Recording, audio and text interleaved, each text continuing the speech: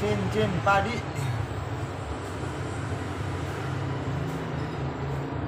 Bahasa Indonesia.